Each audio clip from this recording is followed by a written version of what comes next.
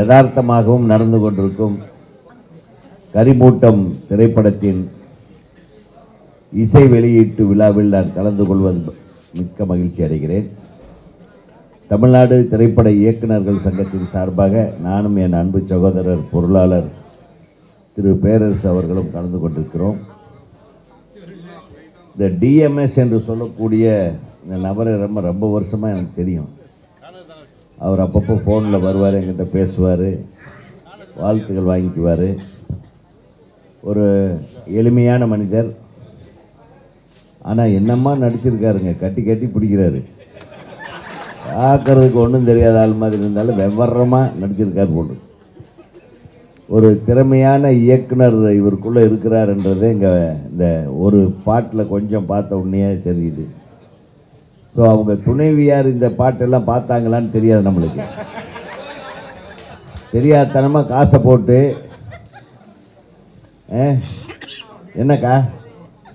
வாங்க நீங்களும் மேடைக்கு வாங்க. ஸோ ஒரு ஒவ்வொரு ஆணுக்கும் பின்னால் ஒரு பெண் இருக்கிறான்றதுக்காக அதை நம்ம கேள்விப்பட்டிருக்கோம். ஆனால் உண்மையாலுமே இவருடைய இல்லத்தரசியினுடைய பேக்கிங்கில் ஒரு படம் பண்ணியிருக்காரு. கரெக்டா ஒன்றும் இல்லை நம்ம வாட்ஸ்அப்புன்னு எடுத்துக்கிறோம். எல்லோரும் சார் உங்கள் நம்பர் கொடுங்க. உங்களுக்கு நான் உனக்கெல்லாம் கொடுக்க முடியாதுன்னு சொல்ல மாட்டேன். போகிற போக்கில் சொல்லிட்டு போவேன் அது அப்படியே பரவிடுது யார் யாரோ காலையில் ஃபோன் பண்ணேன் காலை வணக்கம். நான் முதல் தடவை ஒரு நம்பர்லேருந்து காலை வணக்கம் வந்தேன் நானும் ஒரு கும்பிடுற மாதிரி ஒன்று போட்டோம். விட்டுற வேண்டியது தானே. ஆரம்பிச்சிடுறாங்கப்பா. முந்நூற்றறுபத்தஞ்சு நாள் காலை வணக்கமே போடுறது. இந்த மாதிரி ஒரு முந்நூற்றம்பது பேர் போடுறாங்க. நல்ல யோசனை பண்ணி பாருங்க இது தேவையா நாட்டுக்கு? இதை விட எத்தனை நல்ல விஷயங்களை பகிரலாம். நான் முதல்ல இருந்து சொல்லிட்டே வந்து முதல்ல கொஞ்ச நாள் வச்சுருந்தேன். நான் கொஞ்சம் ஒரு முக்கியமான மேட்டர் இதை பதிவு பண்ணுறேன் தயவு செய்து காலை வணக்கம் போன்ற விஷயங்களை இரவு வணக்கம் போன்ற விஷயங்களை தவிர்த்து விடுங்கள் ஏன் சார் உங்களுக்கு குட் மார்னிங் போடுறது பிடிக்கலையா? அப்படின்னா குட் வேணும் தான் அது வேறு விஷயம். ஆனால் அதே ஃபோனை திறந்தால் காலையில் ஐநூறு மெசேஜ் ஐநூறு பேர் குட் மார்னிங் ஒவ்வொரு பொம்மையை போடுறாங்க. அது எங்கிருந்து தான் கண்டுபிடிப்பாங்கன்னு தெரியல. சில பேர் நாலு மணிக்கே எந்திரிச்சு ஆரம்பிச்சிடுறாங்க இந்த நாட்டில் வேலையே இல்லையா? அப்புறம் பதில் போடவில்லை என்ற பல முறை குட் மார்னிங் சொல்லியும் தங்களிடமிருந்து பதில் இல்லைன்னு இப்போது இவனுக்கு பண்ணுற லொல்லை விட துன்பத்தை விட நமக்கு கொடுக்குற இம்சையை விட நம்மளை திட்ட வேற ஆரம்பிச்சிடறாங்க. அது வரையிலும் நான் பொறுமையாக தான் இருப்பேன். ஏன்னா அவர் போட்ட ஒரு பேர் கூட எனக்கு தெரியாது. பேர் தெரியாத ஒரு ஆளை ரெஜிஸ்டர் பண்ணிக்காத ஒரு நண்பரை நம்ம வந்து இவ்வளவு நாள் என்கரேஜ் பண்ணது தப்பு அப்படின்னு பிளாக் பண்ணும் பிளாக் பண்ணிட்டா ஒன்றும் பண்ண முடியாது. புரியுதா உங்களுக்கு? ஆக அந்த மாதிரி தொடர்ந்து மெசேஜ் பண்ணிகிட்டு இருந்தீங்கன்னு வைங்க. காலை வணக்கம். அப்படி சும்மா அது போட்டு அஞ்சு பைசா பிரயோஜனம் கிடையாது. நீங்கள் சொல்கிறதுனால அவனுக்கு நல்ல காலை வந்துட போகிறதில்ல அவன் சொல்கிறதுனால உனக்கு குட் மார்னிங்காக இருந்துட போகிறதில்ல உண்மையாகவே ஒரு அவசர த விஷயத்தை சொல்வதற்காக இரவு நேரத்தில் ஏதோ ஒரு ஒரு ரெண்டு மணிக்கு ஒருத்தருக்கு உடம்பு சரியில்லை. நான் நண்பர்களையும் சேர்த்து தான் சொல்கிறேன் சார் இந்த மாதிரி ஒரு உடம்பு சரியில்லை இல்லை இந்த மாதிரி ஒரு முக்கியமான செய்தியை நீ எனக்கு அனுப்பும்போது நான் என்ன பண்ணுவேன்? குட் மார்னிங் தான் போட்டிருப்பான்னு அதை பார்க்காமையே அழிச்சிடுறது. ஸோ நல்ல விஷயங்கள் அல்லது அவசர விஷயங்கள் அடுத்தவர்களுக்கு சேராமல் போய்விடுகிறது. இந்த குட் மார்னிங் பண்ணுற வேலை இதை எல்லோரும் உணர்ந்து கொள்ள வேண்டும். இன்னையிலிருந்து எல்லா சோஷியல் மீடியாவிலையும் இந்த வேணு வேணுன்னே வெறுமனே குட் மார்னிங் குட் நைட் போடுறத அவாய்ட் பண்ணுங்கள் ஒரு நண்பரிடமிருந்து ஒரு தகவல் வந்தால் அது முக்கியமான தகவலாக இருக்க வேண்டும். அவசியமான தகவலாக இருக்க வேண்டும். அதுதான் வந்து தகவல் தொடர்புக்கு ஒரு வந்து ஆதாரம். அதை விட்டுட்டு கண்டது எல்லாம் போட்டு அப்புறம் ஒரு எடுத்தால் வந்து ஒரே மேட்ரு காக்கா தலையில் பணம் படம் விழுந்திருந்துன்னு ஒரு கதை யாரோ ஒருத்தன் சொல்லியிருக்கானே? அது முதல்ல ஒரு குரூப்பில் போடுவான். அவன் அந்த குரூப்பில் எடுத்து அடுத்த குரூப்புக்கு போகிறான் நம்ம பேரை அடுத்த குரூப்லேயும் வச்சுருப்பானுங்க. பார்த்தா இருபத்தஞ்சு தடவை அதே வருது. அட விட்டுருங்கப்பா நிம்மதியாக விடுங்கப்பா. அடுத்தவங்க அதாவது உன்னுடைய வேலையும் கெட்டு. அப்புறம் இதனுடைய இறுதி துயரம் என்னென்னா இது எல்லாம் பார்த்து இதை அழிக்கணும் பாருங்க. இது ஒவ்வொன்றா ஒவ்வொன்றா போட்டு அழிச்சு அழிச்சு அழிச்சு அழிச்சு. அப்புறம் டெலிட் me. அப்புறம் கடைசியில் என்ன ஆகிடும் வெறுத்து போய் இந்த குரூப்பில் இருந்தே வெளியே வந்துடும் So, இதுதான் நடந்துட்டுருக்கு இந்த நம்ம பாதி நேரத்தை எப்படி யூஸ் இல்லாமல் ஸ்பெண்ட் பண்ணுறோம் இந்த மொபைலை வச்சுக்கிட்டுன்றதுக்காக தான் சொல்கிறேன் அதை விட்டுட்டு இந்த மாதிரி புதுசாக வர்றவங்களுடைய படத்தை தியேட்டருக்கு போய் பாருங்கள் நான் இந்த மாதிரியான ஒரு விழாவுக்கு போ நான் சொல்கிறேன் இங்கே எத்தனை பேர் இருக்கீங்க? கிட்டத்தட்ட ஒரு ஒரு நூற்றி ஐம்பது இரநூறு பேர் இருப்போம். இரநூறு பேருமே இந்த நிகழ்வில் உங்கள் கையில் வீடியோ இருக்குது என்ன ஃபோட்டோ எடுக்கிறத விட இங்கே பேசுகிறது இங்கே நடக்கிறத ஒரு வீடியோ எடுத்து அதை நான் இங்கே போனேன் இந்த படத்தை பார்த்தேன்னு உங்கள் நண்பர்களுக்கு பகிர்ந்தாவே பல பேர்த்துக்கு இந்த படத்தை பற்றி தெரிஞ்சிருக்கு புரியுதா உங்களுக்கு? நம்ம ஊடக நண்பர்களை விட வேகமாக நீங்கள் வந்து ஊடுருவிடலாம். ஆனால் நீங்கள் அதை செய்வீங்களா? செய்யவே மாட்டோம் புரியுதா? இனிமேல் யார் வந்தாலும் சரி மொபைலில் எந்த ஃபங்க்ஷனுக்கு போகிறோம் எதுக்கு போகிறோம் அது ஒரு பதிவாக போடுங்க. அட்லீஸ்ட் அது ஒரு எல்லாத்துக்கும் தெரிஞ்ச ஒரு விஷயமா இருக்கும். அதே ஒரு மிகப்பெரிய பப்ளிசிட்டியாக இருக்கும். இந்த மாதிரி சின்ன படங்களுக்கு குறிப்பாக நான் சொல்ல வர்றது. இப்போ நம்மளை நிற்க வச்சு நிற்க வச்சு ஃபோட்டோ எடுத்து என்ன ஆக போகுது? நம்மெல்லாம் பழைய ஆளுங்க. அப்படின்னாலும் நினைக்காதீங்க. திருப்பி படம் எடுப்போம். வேறு இதே டி டிஎம் சாமி போனால் போட்டுன்னு உதயகுமாரை வச்சு ஒரு படம் எடுத்துட மாட்டாரா? ஆனால் ரெண்டு ஹீரோயின் கேட்கக்கூடாது. அதை வந்து அக்கா தான் வந்து முடிவு பண்ணணும். என்ன? அதுவும் பேரரசு ரெடி ஆகிட்டார் அடுத்த படம் பூஜை போட போகிறாரு இந்த மாதிரி விஷயத்தெல்லாம் நீங்கள் இப்போ பரபரப்பாக போட்டுருணும் நாளைக்கு காலையில் குட் மார்னிங் யாரும் போடவே கூடாது இனிமேல். Good morning good evening good night பிரயோஜனம் இல்லாத எந்த விஷயத்தையும் போடக்கூடாது. பார்த்தா பார்த்தோம் போனோம் இந்த மாதிரி மூணு பாட்டை பார்த்தோம். அந்த மூணு பாடல் வரிகள் என்னென்னு கேளுங்க. அது இசையமைப்பாளர் பேரை போடுங்க பாடகர்கள் பேரை போடுங்க இந்த நிறுவனத்தோட பேர் போடுங்க. கரிமூட்டம் திரைப்படத்தில் இது பிரமாதமாக இருந்தது. என் மனதை தொட்டது இல்லைன்னா தொடல இல்லைன்னா திட்டு. இது என்னையா படம் ஏதோ ஒன்று சொல்லு. அது மூலமாவது ஒரு பப்ளிசிட்டி வரட்டும். ஆக ஊடக நண்பர்களுக்கு இணையாக இன்றைக்கி ஒவ்வொருத்தரும் ஊடகவியலாளர்களாக உட்கார்ந்துருக்கிறீங்க. அனைவரும் ஊடகவியலாளர் ஆயிட்டாங்க. மொபைல் வச்சுருக்கிறவங்க எல்லாருமே வந்து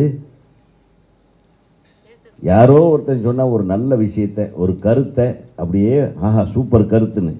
அப்புறம் போடுறதுல இன்னொன்று போடுவானுங்க. இந்த கருத்தை நீ மனிதனாக இருந்தால் ஷேர் செய்யவும். என்னடா இது?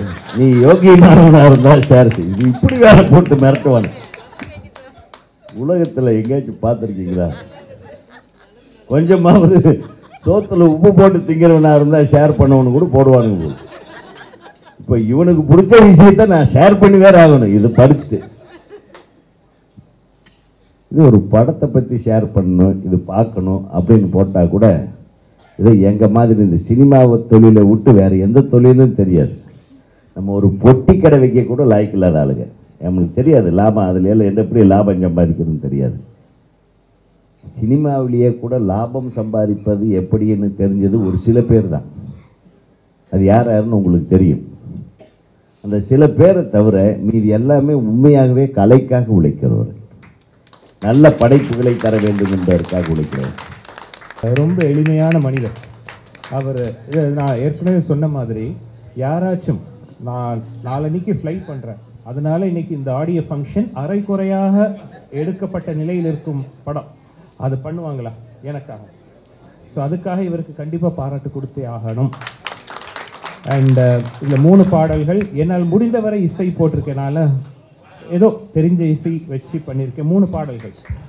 Uh, அதுக்கு முன்னாடி சில விஷயங்கள் கூட பகிர்ந்துக்கிறதுக்காக தான் uh, சிவகங்கா ப்ளீஸ் இவங்க எனக்காக ஏற்கனவே ஒரு பாடல் ஹைஃபைன்ற படத்துக்காக எழுதியிருக்காங்க. இன்னைக்கு அவங்க இது பண்ணிட்டு இருந்தாலும் அடைமழைன்ற அருமையான ஒரு பாடல் அது மூணு இப்போ தமிழ் தெலுங்கு கன்னடா மூணு மொழியில் வருது. அது தெலுங்கு வெர்ஷன் பூரா மதன் குமார் தான் எழுதியிருக்காரு. அண்ட் ஸோ uh, அவங்க she is not only comperer she is also lyricist அவங்க அதை தவிர பேங்க்ல மேனேஜராக ரொம்ப காலம் வேலை செய்து இப்போ ஓய்வு பெற்றவங்க. அது வேற விஷயம். அதே மாதிரி கோசின்ட்ரா சார் இவர் ஒரு ஐஏஎஸ் ஆஃபீஸர் ஃபர்ஸ்ட் டைம் சினிமாவில் வந்து ஒரு பாடலாசிரியர் ஐஏஎஸ் ஆஃபீஸர் இது பாராட்டுக்குரிய விஷயம். அண்ட் uh, இதை தாண்டி uh, ஒரு பாடல். இப்போ போகிறதுக்குள்ள எதுவுமே ஷூட் ஆகாத நிலையில் இந்த ஃபர்ஸ்ட் சாங்கை நீங்கள் கேட்டீங்க. வெரசா அந்த பாடல் வந்து சார் இன்னும் ஷூட் பண்ணல. இருந்தாலும் எனக்கு ஏதாவது ஒரு ஒரு லிரிக்கல் ஃபார்மாக செஞ்சு கொடுங்க அப்படின்னு கேட்கும்போது உடல் முடியாத நிலையிலும் அதை வந்து எடிட் பண்ணி கொடுத்துருக்காங்க Deepa. She is a psychiatrist psychologist she is a lyricist director and editor please stand and show தீபாமா முடியா உடல் முடியாத நிலை. இன்னொரு விஷயம். Uh, நம்ம நிறைய படங்கள் பார்க்குறோம். என்னதான் நாங்கள் ஆர்ப்பாட்டமான இசை கேட்டாலும் தூங்கும் போது மட்டும்தான் தேவை. தாயின் தாளாட்டு. ஆமாவா இல்லையா? எந்த குழந்தையும் அது எந்த ஸ்ருதி எந்த ராகம் எந்த தாளம்னு கேட்குறதே கிடையாது. தாளாட்டு பாடின அடுத்த செகண்ட் தூங்கிடும் இல்லையா? அது மாதிரி தான் கரிமூட்டம் படம். அதுக்கு எந்த வரைமுறையும் இல்லை. என்னுடைய காட்ஃபாதர் எஸ்பிபி சொல்கிற மாதிரி இசைக்கு எந்த எல்லையும் இல்லை. ஒன்று இசையை ஃபுல்லாக கற்றுக்கணும் இல்லைன்னா கற்றுக்கவே கூடாது. நடுபட்ட நிலையில் இருக்கவே கூடாது. ஸோ இஸ் அன் எக்ஸாம்பிள் தயவு செஞ்சு நீங்களாம் இந்த படத்தை பிரபல்யமாக்கணும். ஏன்னா இந்த மாதிரி சினிமா வரணும். சார் சொன்ன மாதிரி. அதற்கு நான் இசையமைத்தது என்னுடைய பாக்கியம். யார் இந்த மாதிரி எல்லாம் நான் போகிறதுக்குள்ளே கூப்பிட்டு வச்சு இந்த இசை இவ்வளவு ஏற்பாடு பண்ணி என்னை கௌரவிக்கணும்னு நினைப்பாங்க? ஏன்னா இன்னைக்கு நிகழ்வுடைய ஏதோ நாயகன் நான் தானே இசை அமைப்பாளர். ஸோ என்னை ஏன் கௌரவப்படுத்தணும் இப்போ? அதுதான் அன்பு நட்பு. அண்ட் சாரும் வந்து என்னை ஓவராக புகழ்ந்து தள்ளிட்டாரு. எனக்கு கொஞ்சம் வெக்கமாக இருக்குது. நான் வந்தோடனே என்னை பார்த்து ஏதோ என்ன சொன்னீங்க? சுடறது ஒளி ஏதோ ஏதோ சொன்னீங்க. அது ரொம்ப இது. ஆனாலும் நன்றாக நல்லா பண்ணீங்க. செமையாக இருந்தது. தேங்க்யூ வெரி மச் இதுதான் ஃபஸ்ட் டைமு இருபத்தி ரெண்டு படம் பண்ணியிருக்கேன். இந்த அளவுக்கு எனக்கு கதாநாயகியாக ஒரு ரோல் கொடுத்து என்னையும் வந்து வளர்த்து விடணும் அப்படின்னு நினச்ச சாமி சாருக்கு ரொம்ப நன்றி. அவங்களுடைய குடும்பத்துக்கும் நன்றி.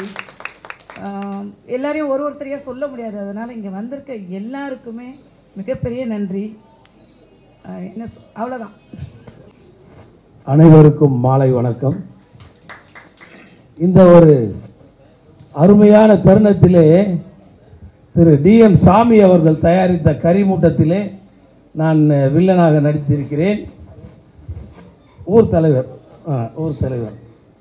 ஆனால் இவங்க வந்து கரிமூட்டம்னா இப்போ அண்ணன் வந்து ஜாகுவார் அண்ணனுக்கு என்னன்னு கேட்டார். நம்ம இவர் ஆர்வி உதயகுமார் சார் என்னன்னு கேட்டார். பொதுவாக கரிமூட்டம்னா கொஞ்சம் தெரியறது கஷ்டம். நம்மளுடைய தலைமுறை வாழ்க்கை வரலாற்றுக்கு முன்னால் கொஞ்சம் திருப்பி பார்த்தீங்கன்னா ஒரு ஐம்பது அறுபது நூறு வருடங்களுக்கு முன்னால் வந்து நம்ம அனைத்துமே கறி. அந்த டீ கடையில் பார்த்துருப்பீங்க எல்லா கடையில் பார்த்துருங்க. வீட்டில் கூட கறி அடுப்புன்னு சொல்லுவாங்க அந்த காலத்தில். அந்த கரியை உற்பத்தி பண்ணுற கரிமூட்டம் தான் இந்த படம் திரைப்படம். அது வாழ்க்கையில் இந்த தலைமுறையினருக்கு தெரிய வாய்ப்பில்லை அண்ணன் ஜாகுவார் தங்கம் பல நூறு படங்கள் ஐநூறு படங்களுக்கு மேல் நடித்தவருக்கு கரிம் ரெண்டாயிரம் படம். ரெண்டாயிரம் படம் அதுக்கடுத்து நம்ம பே- பேரரசு அண்ணன் அவர் பண்ணாத படமா? இப்போ பேசிட்டு போனார் பாருங்க நம்ம கேப்டனை பற்றி அதே மாதிரி இளைய தளபதி எல்லாமே பெரிய நடிகர் அவர்லாம் பெரிய பெரிய பெரிய ஒரு ல- ஜாம்பவான் அவர்லாம் கூட. இதே ஆர்வி உதயகுமார் எவ்வளோ ஸ்டேட் அவார்டு வாங்கினவர். அவரே ஒரு வார்த்தை கேட்டார் கரிமூட்டம் என்ன அந்த ஒரு இது தெரியலேன்னு. அந்த ஒரு சாதாரண மனிதர் சாமி அந்த கரிமூட்டம் என்ற திரைப்படத்தையும் அந்த கரிமூட்டம் என்றால் அந்த கரிமூட்டம் எப்படி தயாரிக்கப்படுகிறது அந்த காலத்திலே. அதனுடைய வெளிப்படையாகத்தான் இந்த படத்தை எடுத்தார். அந்த கரிமூட்டம் தயாரிப்பதற்கு எவ்வளவு இன்னல்கள் எவ்வளவு என்னை போல தலைவர்கள் எல்லாம் ஒரு அடிமையாக்கி ஒரு கொத்தடிமைகளாக வைத்துக்கொண்டு இவர்களிடத்தில் வேலை வாங்கி கொண்டு சரிவர பணம் கொடுக்காமல் இவர்கள் எழுத்தறித்து அவர்களுக்கு நடந்த கொடுமைகளை இந்த படத்தில் காட்டி காட்டியிருக்கிறார். காரணம் இந்த கரிமூட்டம் என்ற அந்த இப்போ செங்கல் சூளை இருக்கு பாருங்க.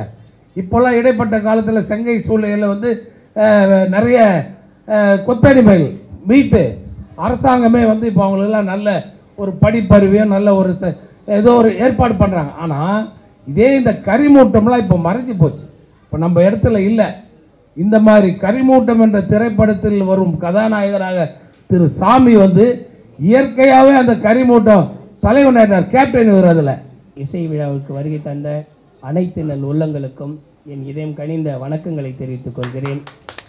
தலைமை பொறுப்பேற்று நடத்தி கொண்ட அமுதா பாலகிருஷ்ணன் சார் அவர்களுக்கும் முன்னிலை வகித்த சம்பத் சார் அவர்களுக்கும் நன்றியுரை வழங்கிய புருஷோத்தமன் சார் அவர்களுக்கும் அப்புறம் இந்த விழாவுக்கு சிறப்பு அழைப்பாளராக வந்து எனக்கு அறிமுகம் ஆகாமையே ஃபோன் மூலியமாகவே தான் இந்த ரெண்டு மூணு வருஷமாக சார் பழக்கம்.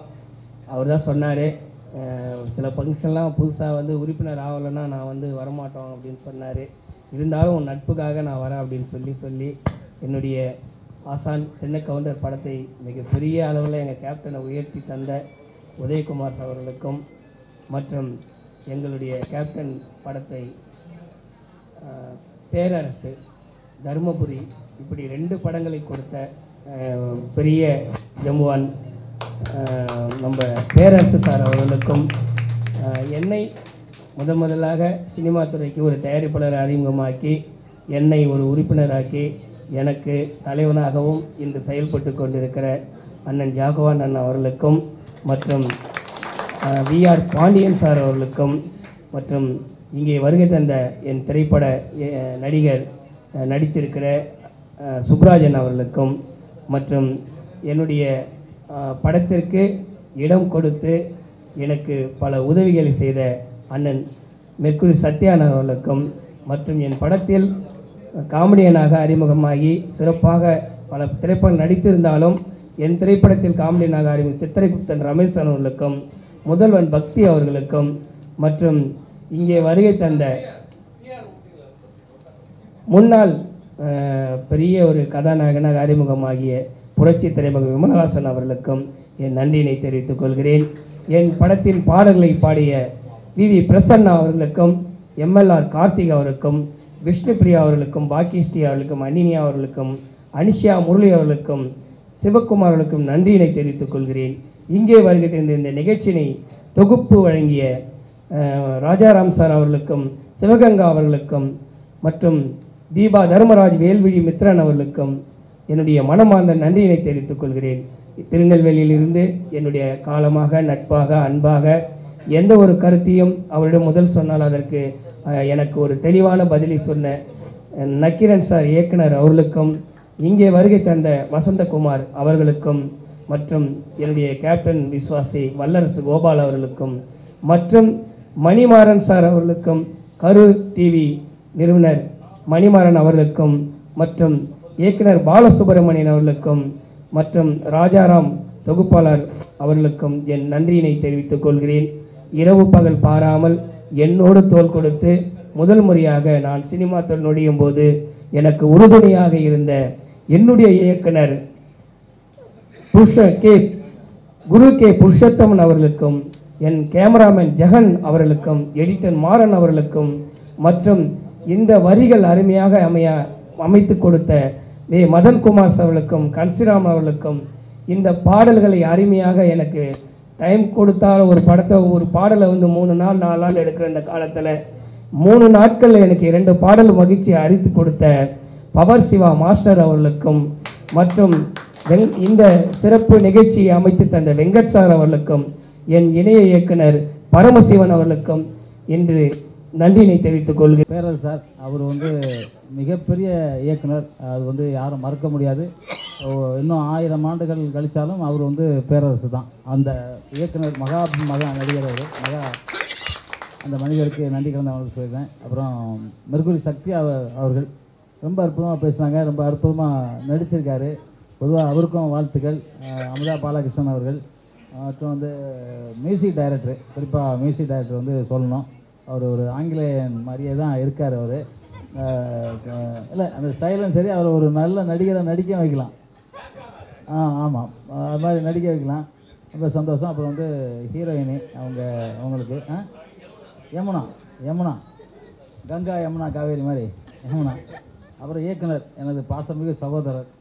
எந்த இதாக இருந்தாலும் சரி என்னை ஃபோன் பண்ணி கூப்பிட்டு எதுவும் பேசுவார். இன்னைக்கு வந்து ஆக்சுவலாக நான் காலைல ஏழு மணிக்கு ஒரு ஃபங்க்ஷன் போயிட்டு இது வரைக்கும் சாப்பிடக்கூட இல்லை.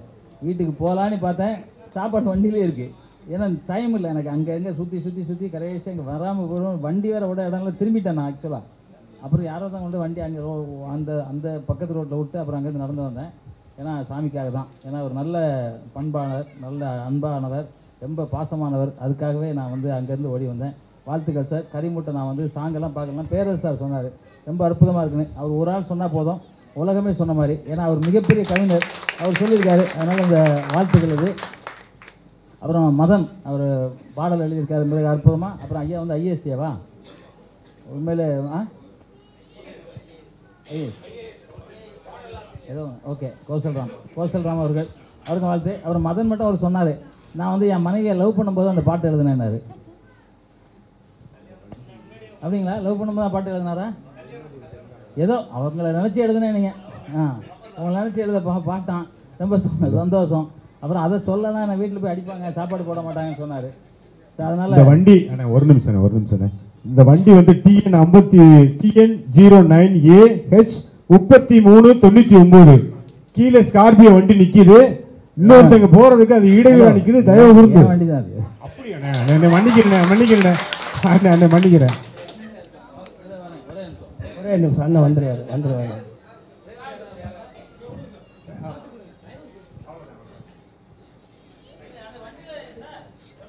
sir. Sriraj sir. Sriraj sir. Sriraj sir. கூட போங்க.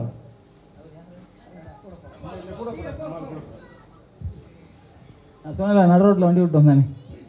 அண்ணே இடையூறு. இல்லை பரவாயில்ல அது நல்லா மாசமாக இருக்காங்களாமா? இவர் மாசமாக இருக்காரு இவர் ஓய்ப்பதில்லை சரி ஓகே. இருக்கட்டும் இந்த பாடல்கள் வந்து கரிமுட்டம். உண்மையிலே ரொம்ப திறமையான ஒரு டைரக்டர் நிச்சயமாக வந்து எதுவுமே வந்து சின்னதுன்னு நம்ம யாரையும் சொல்ல முடியாது. மிகப்பெரிய இயக்குனராக வருவார். ஏன்னா அவ்வளோ கஷ்டப்பட்டிருக்காரு. குறிப்பாக வந்து அவங்க மனைவியை பற்றி சொன்னார். அவர் மனைவியை பற்றி சொல்லும்போதே அவரோட வெற்றி இருக்குது அம்மா பற்றி சொன்னாலும் வெற்றி இருக்கும். மனைவி பற்றி சொன்னாலும் வெற்றி இருக்கும். ஏன்னா அது ரெண்டும் அவர் பண்ணியிருக்காரு. அதனால் அந்த படம் வெற்றி அடையணும். கொஞ்சம் லேட் ஆகிடுச்சு அப்படியே நான் பார்க்க முடியல. ஆனால் எனக்கு உட்காந்து பேரரசார்ட்ட பக்கத்தில் கேட்கும்போது சொன்னார். அது இவ்வளோ அற்புதமாக இருக்குது அப்படின்னு. அது மாதிரிலாம் Udayakumar sir R. Udayakumar sir ரொம்ப அற்புதமாக பேசினார். குறிப்பாக மியூசிக் டைரக்டர் வந்து பாங்காங்கு ஆங்காங்கு அமெரிக்கா லண்டன்லேருந்து போடுறாரு. அதனால் அதனால் கனடா அப்படி போடுறதுனால சாங்கு ரொம்ப நல்லா ஃபாரின் மாதிரி போட்டிருப்பாருன்னு நினைக்கிறேன். அப்படி தான் இல்லையா? ஃபாரின் மாதிரி போட்டிருக்காரு. அப்புறம் இதில் ஓகே அதான் அதான் அதான் சொன்னேன். ஓகே ஆனால் படம் பார்க்கும்போது தான் பக்கா கிராம படம் மாதிரி இருக்குது ஓகே ஏதோ ஏதோ வந்து சாமி சாருக்கு வாழ்த்து எல்லாம் தமிழ் நடிகர்லாம் போட்டிருக்காரு. அது வரைக்கும் ஆனால் இன்றைக்கி தமிழர்களை மறந்துட்டாங்க. தமிழ் திரைப்பட துறைன்னு சொல்லி பேர் இருக்க வழியே யாரும் தமிழர்கள் ஹீரோ கிடையாது தமிழர்கள் ஹீரோயின் கிடையாது தமிழர்கள் டெக்னீஷியன் கிடையாது தமிழர்கள் பாட்டு எழுதுறது கிடையாது எவனும் கிடையாது. ஆனால் படம் மட்டும் தமிழம் பார்க்கணும். தமிழம் மட்டும் தமிழம் பார்க்கணும். எல்லாம் காசை கொண்டு போய் எங்கேயோ கொண்டு போய் சொருவிடுறாங்க இங்கே நிலம் வாங்குறது கூட இங்கே இல்லை. நம்ம காசு அப்படியோ அனாதையாக போய்கிட்டு இருக்கு. எல்லாம் குடிச்சிட்டு நடு ரோட்டில் மல்லாக்க படுக்கிறான். இங்கே உள்ள பணம்லாம் பல கோடி அங்கே போய்கிட்டு கிடக்குது. நாளைக்கு தமிழகம் என்ன பொசிஷனில் இருக்கும் இலங்கை மாதிரி தமிழனை அடித்து விரட்டுவாங்களாங்கிற கூட தெரில இது வந்து சிரிக்கிறதுக்கோ இல்லை இதுக்கோ சொல்ல சிந்தனை பண்ணணும். குடியை முதல்ல தவிர்க்கணும். குடிங்கிறது வந்து உலகத்தில் மிக மோசமான ஒரு ஆயுதம் குடி. அந்த குடியை முதல்ல தடுக்கணும். ஏன்னா மகளிர் தான் தடுக்கணும். ஏன்னா பெண்களால் தான் இது தடுக்க முடியும். வேறு யாராலும் தடுக்க முடியாது நான் நினைக்கிறேன். இல்லை பெண் குழந்தைகள் தடுக்கணும். இல்லை சின்ன குழந்தைகள்கிட்ட இருக்கணும். பதிமூணு வயசில் குடிச்சிட்டு ரோட்டில் ஆடுறாங்க நம்மளே பார்க்குறோம் மூஞ்சை மட்டும் மறைச்சிட்டு குடிச்சு குடிக்கிறத காமிக்கிறாங்க. எவ்வளோ வாட்ஸ்அப்பில் பார்க்குறோம் பார்த்துங்க அதனால் இதை தடுக்கணும். அதே மாதிரி இப்போ வந்து அதை மீறி கஞ்சான்னு ஒன்று வந்துருச்சு. கஞ்சா போதை. யாராக இருந்தாலும் கஞ்சா போதையில் தான் இருக்காங்க அன்றைக்கி நம்ம எவன்டா பேசினா அவன் கஞ்சா போதையில் இருக்கான். திடீர்னு கத்தியறது கூட குத்திடுவான். கஞ்சா போதையில். ஏன்னா அவனுக்கு தெரியாது. குத்திட்டு அப்புறம் ஜெயிலுக்கு போனப்போ தான் தெரியும். அவனுக்கு என்னடா குத்திட்டோமான்ட்டு. ஸோ அந்த மாதிரி இருக்கிறனால நம்ம குழந்தைங்களை வளர்க்குறது வந்து அப்படி வளர்க்கணும். ஏன்னா இப்போ கரிமூட்டம் கதை சொன்னார். அவர் வந்து ஒரு கறி அந்த அப்படின்னு சொன்னார். நாங்களாம் பிறக்கும்போது கறியாக தான் இருந்துச்சு. எல்லாம் ஊரெலாம் கறியாக தான் இருக்கும். ட்ரெயினில் போனால் கூட அப்படி இதை வெட்டி பார்த்தா கறியாக விடும் கண்ணை மூடணும் எல்லாம் கறி விழுந்துடும் அப்போல்லாம் இந்த மாதிரிலாம் ட்ரெயினே கிடையாது. ஸோ அதனால் அந்த க அந்த படத்தை பற்றி ஒரு அற்புதமாக எடுத்திருக்காருன்னு சொன்னாங்க. சாமி சார் நிச்சயமாக வந்து அந்த சாமி படம் வெற்றி மாதிரி இந்த கரிமூட்டம் படமும் வெற்றி பெறணுங்கிற மனமாற இளமாற அந்த இடத்துல வாழ்த்து கேட்டுக்கிறேன். எல்லா மனுஷனையும் நேசிக்கணும். கடவுள் நேசிக்கிறது இல்லைங்க சொன்னதான் தர்மம். அதெல்லாம் போய் சும்மா போய் பூசிட்டாங்க கடவுளை நேசிக்கிறதோ கடவுளை பூஜிக்கிறதோ சனாதன தர்மம் இல்லை. மனிதனை நேசிக்கிற சனாதன தர்மம். மனிதன் நேசி. யாராக இருந்தாலும் சரி நல்லவர்களை நேசிக்கணும். அது எந்த ஜாதியாக இருக்கட்டும் ஏற்றத்தாழ்வு இல்லை அதெல்லாம் ஒன்றும் இல்லை. ஒரு நல்ல மனுஷன் தான் மனுஷன். கெட்ட மனுஷன் மனுஷன் இல்லை. அவன் மிருகம். நான் உங்களை வந்து பணத்தை வாங்கிட்டு ஏமாத்துறேன்னா நான் இப்போ மனுஷனாக இருப்பேன். நீங்கள் போய் என்னை நேசிப்பீங்க? நான் கரெக்டாக இருந்தேன்னா நீங்கள் நேசிக்கணும். அப்போ தான் நான் தொடர்ந்து கரெக்டாக இருப்பேன். நான் கரெக்டாக இருக்கணும் நீங்கள் கரெக்டாக இருக்கணும் நீங்கள் ஏமாத்துனீங்கன்னா நம்ம கரெக்டாக இருக்கிறது தப்பு அப்படின்னு நான் யோசி யோசிக்க ஆரம்பிச்சிடும் இப்படித்தான் படம் நமக்கு எடுத்துரும். அப்போ நேர்மையாக இருக்கணும்னா நம்ம டார்ச்சர் போட்டுருவோம் சார் நல்லவனாக இருக்கிறது வேற நல்லவன் நடிக்கிறது வேறு. நம்ம நல்லவன் நடிக்கிறோம் நம்புகிறோம் நல்லவனாக இருக்கணும் நம்ப நடிக்கிறோம். என்ன வித்தியாசம்? என்ன வித்தியாசம்? ஒருத்தன் நம்மகிட்ட பணம் வாங்குறது அவ்வளோ நடிப்பான் வந்து சார் அப்படி சார் நீங்கள் அப்படி சார் சூப்பர் சார் அப்படிம்பான். மயங்கிறோம் அவன்கிட்ட ஏமாந்துடுறான் கூட வந்து குளிப்பிச்சு போயிடறான். ஒருத்தன் சார் நீங்கள் சொன்ன தப்பு சார். நீங்கள் இப்படி பேசக்கூடாது சார். நீங்கள் இப்படி பேசும்போது அவங்க மனசு கஷ்டப்படுது சார். இப்படி சொல்கிறான் பாருங்கள் அவனை கண்டுங்க சார். அவன் தான் கரெக்ட் எவன் ஒருவன் உங்கள் குறைகளை சொல்கிறானோ அவன் தான் சரியான ஆள். அவனை கூட வச்சுங்க. எவன் அவங்க சொல்கிற எல்லாருமே சூப்பர் சூப்பர் சூப்பரானோ அவன் குழி விட்டு போயிடுவான். அப்போது சனாதன தர்மம் அப்படிங்கிறது மனிதனை மனிதன் நேசிக்க வேண்டும். இவ்வளோதான் குறிப்பாக நாணயம் வாக்கு இல்லற தர்மம். புருஷன் எப்படி பொண்டாட்டி இருக்கணும் இந்த இன்னைக்கு சொன்னார்ல? கவிஞர் சொன்னார் மதன்ராஜ். மதன்குமார் மதன்குமார். என் ஒய்ஃபு தான். என் முதல் ரசிகை அப்படின்னாரு. மனைவி நேசித்தது தான் அந்த வார்த்தை வரும். அதுதான் சனாதன தர்மம். ஒரு கணவன் மனைவிக்குள்ள மரியாதை கொடுக்க வேண்டும். டேரக்டர் சொன்னார் என் மனைவி தான் நாங்கள் எனக்கெல்லாம் பக்கபலம்னாரு. ஃபைனான்சர் எல்லாம் தான். அது மேலே சொல்கிறார் பார்த்தீங்களா அங்கீகாரம் கொடுக்க அங்கீகாரம் கொடுக்குறாருல்ல. அதான் சனாதன தர்மம். கணவன் எப்படி இருக்க வேண்டும் மனைவி எப்படி இருக்க வேண்டும் ஒரு அப்பா அம்மா எப்படி மதிக்க வேண்டும் அப்பா அம்மா எப்படி பிள்ளைகளை வந்து அஹ், பேணி காக்க வேண்டும் பெரியவர்கள் எப்படி மதிக்க வேண்டும் இதுதான் சனாதன தர்மம். நீங்கள் வெளியே வந்து சாமிக்கு பூஜை பண்ணுற சமாதானம் நம்பாதீங்க. யார் நம்பாதீங்க? நம்ம மனுஷனாக இருக்கிறதா சனாதன தர்மம்? மனுஷனா இருப்போம். அடுத்து மதன் குமார் ஒரு சொன்னார் நான் பாடு நான் எழுதின பாட்டுக்கு இன்னொருத்தன் பேரை போட்டுறாங்கன்ட்டு அது பேருக்கு புதுசாக இருக்கு. க- இது காலங்காலமாக நாங்கள் பட்டு அடிபட்டு. ஆமாம் இப்போ உதாரணத்துக்கு நான் ஒரு திரைப்படம் எடுக்கிறேன். வேங்கிய வாசல் எடுக்கணும் வச்சுங்க அப்போ இங்கே தமிழ் என்ன வருது? கதை திரைக்கதை வசனம் பாடல்கள் இயக்கம். பேரரசு இப்போ தான் டைட்டில் போகிறேன் இந்த படத்தை தெலுங்கில் டப் பண்ணுறாங்க டப் பண்ணிடுறாங்க. அதே படத்தை நான் போய் தேட்டரில் பார்க்குறேன் என்ன வருது முதல்ல கதை இயக்கம் மட்டும் வரும். ஆனால் அவங்க என்ன எப்படி பண்ணுறாங்கன்னா திரைக்கதையை என்ன மாற்றினியா நீ? திரைக்கதைங்கிறது என்ன? இதில் ஹீரோ ஓப்பனிங் அதுக்கடுத்து கதானியை சந்திக்கிறாரு. அதுக்கப்புறம் தங்கச்சிக்கு படம் வாங்கி கொடுக்குறாரு. அதுக்கப்புறம் வேலை தேடுறாரு. இப்படி இது இதான் திரைக்கதை. இதில் எதாவது மாற்றினியா நீ? டப்பிங் பண்ணும்போது மாத் ரீமேக்காக மாற்றலாம் டப்பிங் ஒன்று மாற்றிங்களா அப்போ திரைக்கதை ஏன் நீங்கள் உங்கள் பேர போறிய திரு- கதை என் கதைன்னா அந்த ஸ்க்ரீனில் ஆர்டரில் மாற்றமே இல்லை. அப்படியே தான் நீ தமிழில் பண்ணுற டப்பிங்கில் டப்பிங்கில் ஒன்று மொழிபெயர்ப்பு மட்டும் தானே தமிழ் டைலாக்கை தெலுங்கில் பெற்ற மட்டும்தான் ஒன்று தான் அதில் வந்து வேலை செய்கிறேன் நீங்கள் அப்போ திரைக்கதை வந்து யார் பேர் ஏன் அங்கேயா பார்த்தா திரைக்கதை வசனம்னு ஒருத்தர் பேர் போட்டுருவாங்க.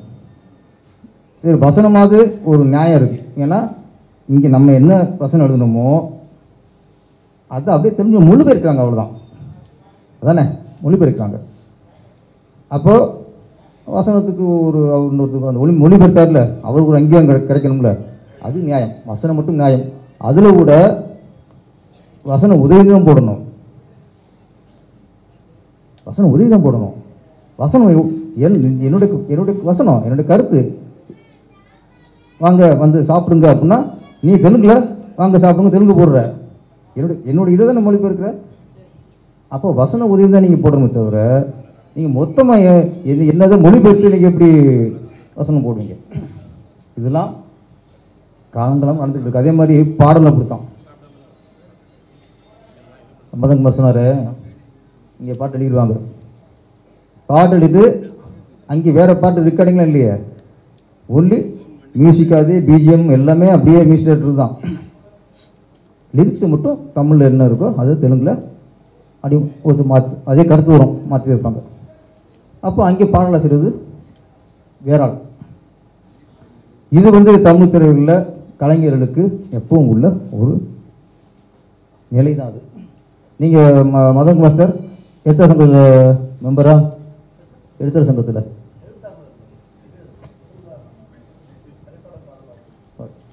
நீங்கள் எழுத்தாளர் சங்கத்துக்கு மெம்பர் ஆகணும். அதான் முதல்ல. ஏன்னா எழுத்தாளர் சங்கத்தில் தான் கதை எழுதுகிறவன் திரைக்கதை எழுதுகிறவங்க வசனம் எழுதுகிறவங்க பாடலாசிரியர் எல்லாருமே ஒரு பொதுவான சங்கம் எழுத்தாளர் சங்கம். அதான் மெயின் முதல்ல அங்கே சேருங்க. அப்போ உங்கள் பஞ்சாயத்தை நான் பார்த்துக்கிறேன்.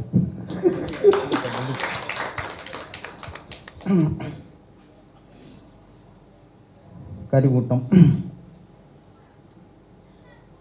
சாமி டிஎம் சாமி. கரெக்டாக பேர் வச்சுட்டார். ஏன்னா இங்கே இந்த சாமினால கொஞ்சம் பிரச்சனை. இப்போ இவர் கந்தசாமி வச்சுருந்தீங்களே சாமி கட் பண்ணிடுவாங்க. வாங்க கந்தேன்றாங்க ஓகேயா? வேலுச்சாமி அப்படின்னா சாமி கட் பண்ணிடுவாங்க. வா வேலு அப்படிம்பாங்க. பொன்னிச்சாமி அப்படின்னா சாமி கட் பண்ணிடுவாங்க. வா பொண்ணும்பாங்க.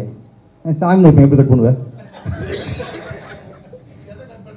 எதுக்கு கட் முடியாது நீ டிஎம் கட் பண்ணாலும் சாமி கூப்பிடணும். சாமி கட் பண்ணி டிஎம் கூப்பிடா கூப்பிட முடியாது. நம்மளை எம்ஜிஆரா? அப்போ அங்கே வருமானம் ஆகிட்டார் சா நீங்கள் சாமி நம்புறியோ நம்பலையோ நீ நாத்திக்கணும் ஆத்திக்கணும் நீ சாமி கூப்பிடியா? கெத்தாயிட்டார்ல? அதனால் அங்கேயே வருமானம் ஆயிட்டார் அவர். அப்புறம் பார்த்தா நிறைய சின்ன சின்ன நடிகர்கள் அங்கே இது பார்க்கும்போது எப்படின்னா இந்த பெரிய கோயில் திருவிழாவுக்கு போகும்போது வேறு மாதிரி இருக்கும். அங்கே ஒரு அணிவனும் கிடைக்காது. ஆனால் அந்த ஊர் திருவிழா இருக்கும்ல கிராமத்தில். அந்த ஊர் திருவிழா போகணும்னு வச்சுங்களேன் அங்கே நமக்குள்ள ஒரு உணர்வு இருக்கும். எல்லாருமே சொந்த பந்தமாக இருப்போம். ஒரு நெருக்கம் இருக்கும். ஊர் கோயிலில் இருக்கும்போது சாமிக்கு நமக்கு நெருக்கமாக இருக்கும். பெரிய கோயிலில் ஐயருக்கு நமக்கு நெருக்கமாக இருக்கும். அவன் நினச்சிருந்தா வாங்க மாலைப்புறம் கழுத்தில் போடுவான். என்ன அப்புறம் கை நீட்டிடுவான் அது வேறு விஷயம். இது வந்து எப்படின்னா கிராமத்து கோயில் திருவிழா மாதிரி இங்கே எல்லாருமே விஐபிகள் தான். இங்கே உதயகுமார் சார் நான் ஜாக்குவாரதங்கம் மட்டும் விஐபியில் இங்கே எல்லாருமே பார்த்தா எல்லாம் சரிசமாக எல்லாருமே ஆளா. உங்களோட அன்பை வந்து புரிஞ்சிக்க முடியுது. வந்தோடனே எல்லாரும் அன்பாக வந்தீங்க ஃபோட்டோ எடுத்தீங்க பேசுனீங்க. அப்படிங்கும்போது இது வந்து ஒரு கிராமத்து கோயில் திருவிழா மாதிரி மனிதர்களுக்கும் சாமிக்கும் உறவுகளுக்கும் உள்ள ஒரு நெருக்கம். அப்புறம் இந்த படத்தை கதாநாயகி யமுனா. அடுத்த படத்தை மூணு கதாநாயகி மூணு கதாநாயகி போடுங்க. கங்கா அப்புறம் யமுனா யமுனா வந்திருக்கு. அப்புறம் காவேரின்னு ஒரு பொண்ணை பிடிங்க. ஆமாம் வீட்டை சம்மதம் வாங்கிக்கிறங்க முதல்ல. இதுக்கு என்ன பிரச்சனை தெரியல இப்போ யமுனாவுக்கு.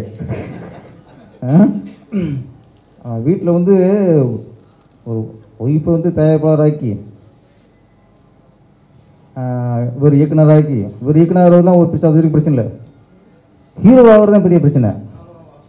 நிறைய வீட்டில் நான் நடிக்க போனால டக்குனு இமேஜினேஷன் அந்த ஹீரோட டியூட் போகிற மாதிரி அவங்க நடிச்சு பார்த்துருவாங்க ஃபஸ்ட்டு ஷாக் ஆயிடுவாங்க ஆகா நடிக்க போயிட்டாருன்னா ரொம்ப இருமே ட்ராக் மாறிடுவாரோ அப்படின்ட்டுலாம் இருக்கும். ஆமாம் ஆனால் இவங்க ஒய்ஃப் வந்து இவரோட பக்கம் போட்டுன்னு நினைக்கிறேன். ஊட்டம். மூட்டை அங்கே போட்டாச்சு ஃபஸ்ட்டு கறி மூட்டை மாதிரி. அங்கே மூட்டை போட்டு அவங்க பக்கம் உடைச்சிட்டாங்க ஓகே சினிமானா இப்படி தான் இருக்கும். இன்னொன்று புருஷன் நம்பிக்கைங்க. நான் அப்படி சொல்கிறேன் புருஷன் மேலே நம்பிக்கை. ஏன்னா இவரே கறி மூட்டை மாதிரி தான் இருக்காரு. ஏன்னா யம் வந்து பனி மூட்டை மாதிரி இருக்கு. இந்த ரெண்டு மூட்டமும் சிங்க் ஆகாது. என்ன ஆமாம் அதனால் அவங்க பார்த்துருப்பாங்க. நம்ம புருஷன் நம்ம புருஷன் தான் என்ன? அதனால் நம்பி விட்டாங்க.